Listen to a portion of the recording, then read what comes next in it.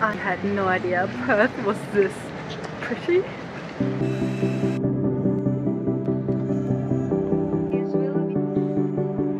Hello from Perth, Australia. It's my first time here and this is my second day. Yesterday I just walked around the city and my first impression was so good. I'm somewhat embarrassed to say that my preparation when coming to Perth was basically they're cheap flights from Bali. I've never been to Australia. I want to see a kangaroo. Let's book a flight. That's basically all the research I did.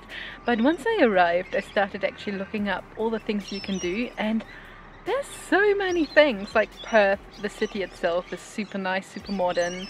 Um, there are kangaroos apparently, but also nearby you can go to Fremantle, there are beaches, there are quokkas, which I had no idea existed. Um, so yeah, tons of stuff to do. So I can't wait to explore the city, visit the Botanic Gardens, Rottnest Island, and just enjoy the beautiful sights of Perth. Honestly, it feels a bit like some sort of like resort town, but it's the capital of Western Australia, so it's like a big city. I think 1.5, 1.6 million people actually living here, but it has such a nice vibe. The moment I arrived in Perth, I immediately noticed how clean and modern the city is. I really enjoyed just walking around the central business district and looking at the incredible architecture.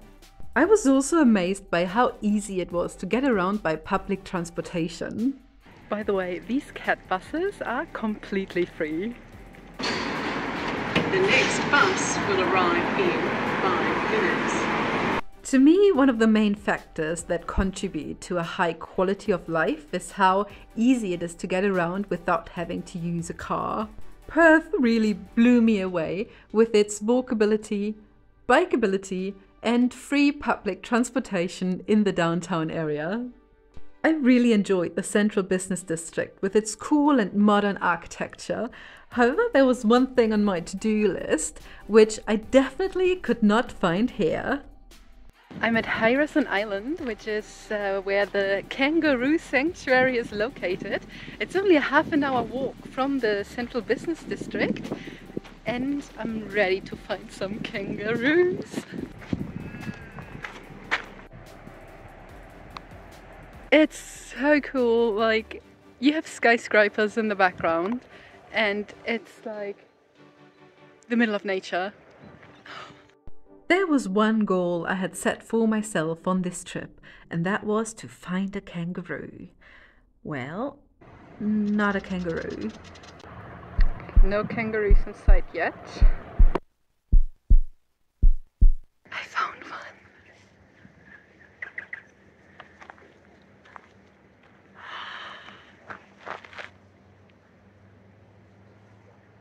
It's just hanging out. So big.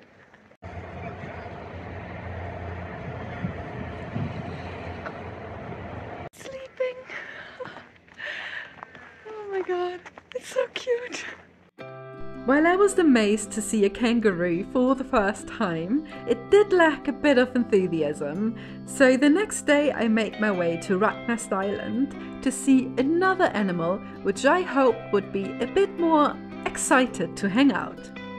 I am on Rottnest Island, home of the quokkas, the cutest mixture between rats and rabbits I have ever seen.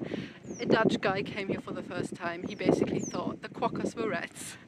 so he called the island Rottnest Island. But they're cute. They're the tamest white animals you would ever see. They just don't give a like they don't they don't care if you're right next to them taking selfies. They're so cute.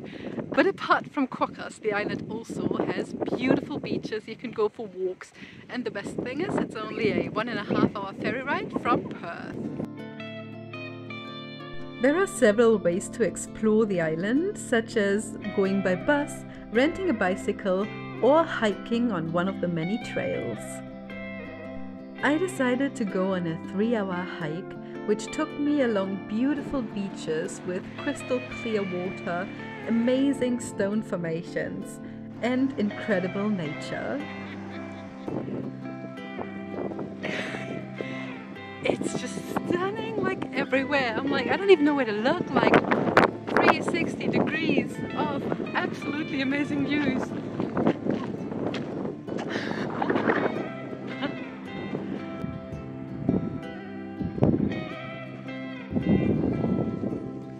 Feels just impossible to wipe that grin off my face.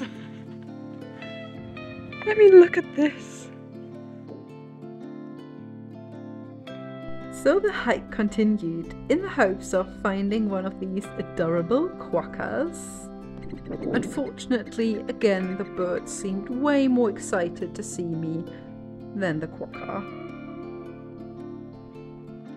I guess I'm out of luck when it comes to animals, so instead I decided to visit some plants the next day and go to the Botanic Garden. And once again, Perth kept delivering. There even is a treetop walk with amazing views of the city. Like the location of this botanical garden is just perfect because it's not too far from the city centre, but from here you have the best views of the central business district. And of course, they also have free walking tours. What an amazing city! I can highly recommend visiting. I was blown away and it exceeded my expectations by far. I hope you enjoyed this video. If yes, please leave a like. And if you want to see more videos like this one, subscribe to the channel and I hope to see you in the next video. Bye!